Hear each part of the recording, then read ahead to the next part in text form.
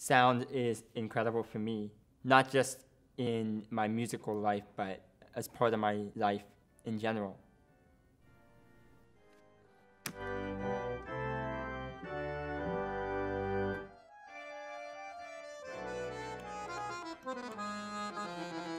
Everybody is truly unique with their own artistic way of putting things together. Some people may not have a lot of feelings for music, but music is it's an absolutely incredible thing. I think that if you play music, you should really take advantage of it. A record that I would listen to where it teaches you how to play harmonica, and I immediately picked it up. I didn't need lessons at all, it was easy.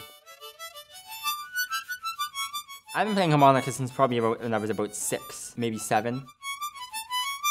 Each harmonica is in a key of the major scale, so I could pretty much play anything on there.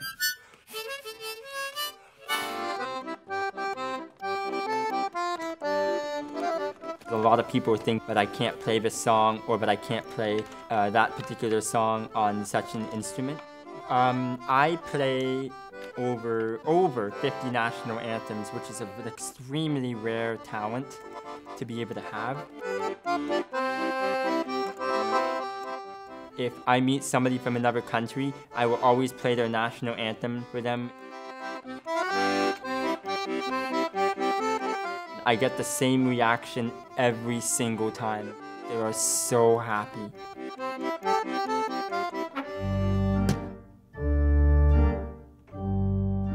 I played the organ at Christ Church. I'm assistant organist there. As of this year, I've been playing the organ for 10 years.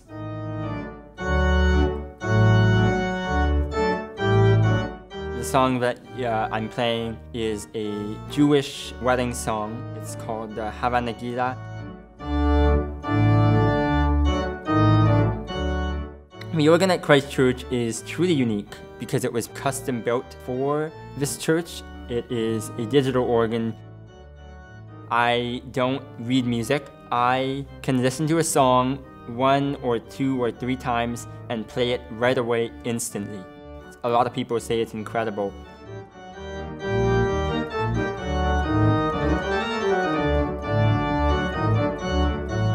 I like to let people try my cane I like teaching kids in different schools what it's like to be blind and how to help out.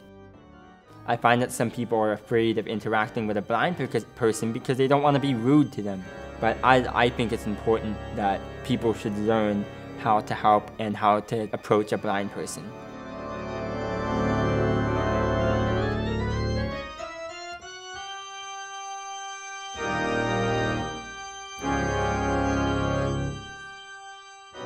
I generally like teaching people what blind people go through in life.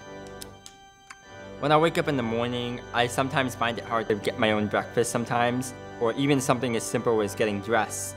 I'll end up putting on socks that are not non-matching. The other thing is when I'm brushing my teeth, it's hard to know how much toothpaste I'm putting on because I can't see.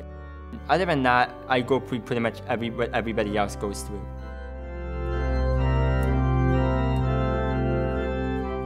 if I can hear an instrument and I know what it sounds like in advance before I play it, I immediately know whether I'm doing it right. My name is Jacob Way-White and I am 24 years old. And that's how my whole musical life um, has become so far.